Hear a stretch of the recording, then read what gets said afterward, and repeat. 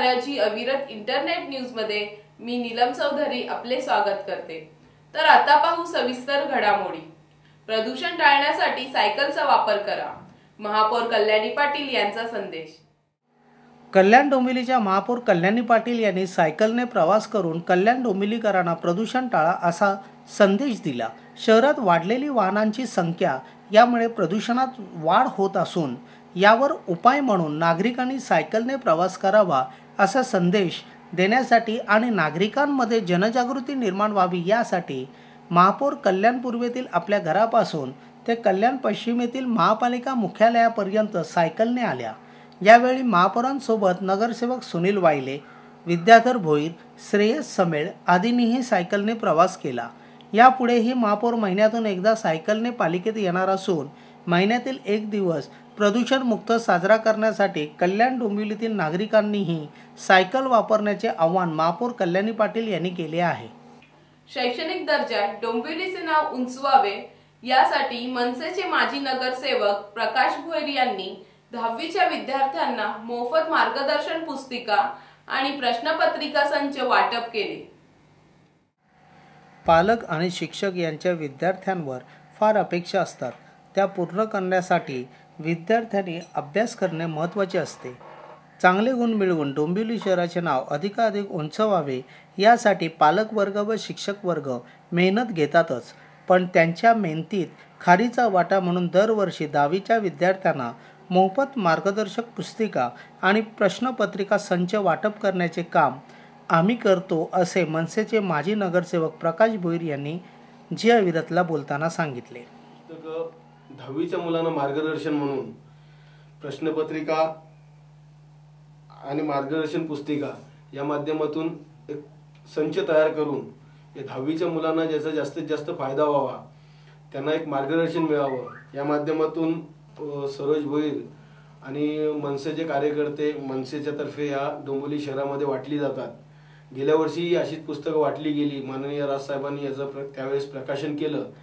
आणि जास्तीत जास्त लोकांना फायदा झाल्यामुळे लोकांनी बऱ्याचशा याच्यामध्ये आभारी मानले आणि मार्गदर्शनही केलं. त्यामुळे ॲडिशनल यावर्षी पुस्तिका वाढीव काढलेली आहे.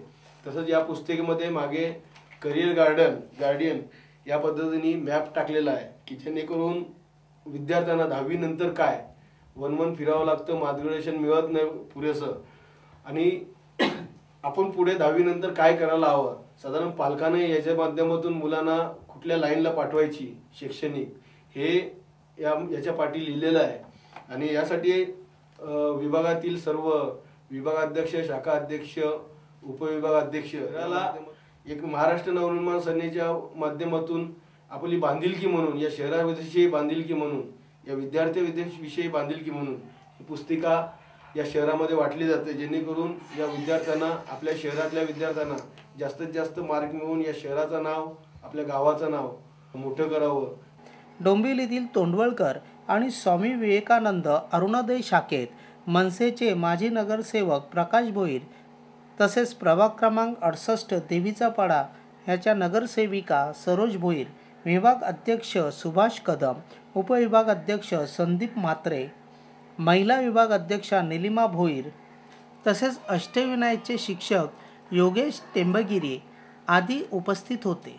दहावीच्या विद्यार्थ्यांना मोफत मार्गदर्शन पुस्तिका आणि प्रश्नपत्रिका संघाचे वाटप केल्यानंतर माजी नगरसेवक प्रकाश भोईर विद्यार्थ्यांना मार्गदर्शन करताना म्हणाले दहावीच्या विद्यार्थ्याने अभ्यास करताना पुढील भविष्याकरिता करिअरची माहिती मिळावी म्हणून या संचाच्या शेवटच्या पानावर करिअरविषयीची माहिती दिली आहे या पुस्तक संघाचे प्रकाशन मनसे अध्यक्ष राज ठाकरे यांच्या हस्ते करण्यात आले होते. थ्री. विद्यार्थ्यांनी चांगले गुण मिळवावे ही यामागची अपेक्षा आहे असे ते म्हणाले. दरवर्षी मोफत दहावीच्या विद्यार्थ्यांना मार्गदर्शन पुस्तिका आणि प्रश्नपत्रिका संच वाटत असल्याने त्यांचा अनेक विद्यार्थ्यांना फायदा होतो असेही ते म्हणाले. कल्याणात संत निरंकारी मंडळाची प्रभात फेरी संपन्न. निरंकारी बाबा हरदेव सिंहजी महाराज यांचे महाराष्ट्राच्या अठ्ठेचाळीसव्या निरंकारी संत समागमाच्या निमित्ताने नवी मुंबई खारघर येथे तेवीस ते सव्वीस जानेवारी दरम्यान आगमन होत आहे. हा संदेश जनमानसांना देण्यासाठी संत निरंकारी मंडळ सेक्टर कल्याणच्या वतीने प्रभात फेरी काढण्यात आली. कल्याण सेक्टर संयोजक जगन्नाथ मात्रे यांच्या उपस्थितीत बेतुरकर पाडा येथून या प्रभात फेरीला सुरुवात करण्यात आली. Khadakpada Sai Chowk बवाड icon plaza hall R T O Birla college Milind Nagar मार्गे गौरीपाडा तलाव येथे या प्रभात फेरीची सांगता करण्यात आली. यावेळी कल्याण पश्चिमचे आमदार नरेंद्र पवार देखील या प्रभात फेरीत सहभागी झाले होते. प्रभात फेरीत सुमारे आठशे निरंकारी भाविकांनी आणि स्वयंसेवकांनी तसेच दुचाकी स्वाराने सहभाग घेऊन कल्याणकरांना मानवता एकत्व सहनशीलता आणि मानवी मूल्यांचा संदेश दिला. डोंबिवली क्षुल्लक कारणावरून तरुणाची हत्या. तिघांना अटक. डोंबिवली पश्चिम येथील एका तरुणाची क्षुल्लक कारणावरून चाकूने सपासप वार करून निर्गुण हत्या झाल्याची घटना रविवारी सायंकाळच्या सुमारास नवापाडा परिसरात घडली. विष्णुनगर पोलिसांनी या हत्येप्रकरणी तिघा मारेकऱ्यांना अटक केली आहे. अटक आरोपींपैकी एका अल्पवयीन मुलाची रवानगी कल्याण न्यायालयाने भिवंडी बालसुधार केंद्रात केली आहे. संतोष भैरीनाथ शिंदे उर्फ फॅक्चर वय वर्ष वीस. रोहित गोपाल सिंग वय वर्ष एकोणीस. आणि एक अल्पवयीन मुलगा अशी अटक आरोपींची नावं असून तिघेही पश्चिमेकडील नवापाडा परिसरात राहतात. तर निहाल उर्फ बंटी विजय बडवेकर वय वर्ष वीस. असे हत्या झालेल्या तरुणाचे नाव आहे. निहाल हा व्यवसायाने वाहनचालक असून काल सायंकाळी कार घेऊन नवापाडा परिसरातील मारुती मंदिराजवळ आला असता त्याला मित्र राजेश पवार भेटला. राजेशला कारमध्ये बसविल्यानंतर निघत असतानाच वाटेत संतोष शिंदे दिसला. संतोषनेही दोघांना पाहिल्यावर तू कुठे चालला आहेस? असा प्रश्न राजेशला विचारला. मात्र त्यावर राजेशने काहीच उत्तर दिले नाही. निहालमध्ये पडत राजेशला म्हणाला तुला बघ काय विचारतोय तो. निहालच्या या बोलण्याने संतापलेल्या संतोष शिंदे काय बोलतोस? माझी इज्जत आहे की नाही? असे विचारित राजेशला मारहाण करण्यास सुरुवात केली. त्यानंतर संतोषने सात आठ साथीदारांना बोलावून घेतले. निहालवर ही राग आल्याने त्याने कमरेला लावलेला चाकू बाहेर काढून निहालच्या डोक्यावर छातीवर आणि तोंडावर तसेच पोटावर वार केले. या हल्ल्यात निहाल रक्ताच्या थरोळ्यात पडला आणि निहालचा जागीच मृत्यू झाला. या प्रकरणी विष्णुनगरने तिघांना अटक केली आहे.